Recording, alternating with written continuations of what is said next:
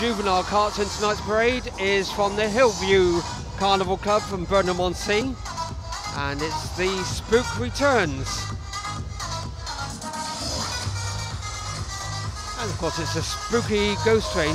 Fortunately there does seem to be one or two lights out uh, on their cart tonight.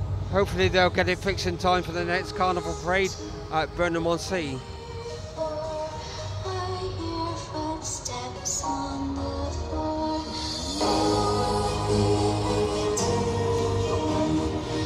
youngsters are on the cart are all aged between 6 to 15 years of age.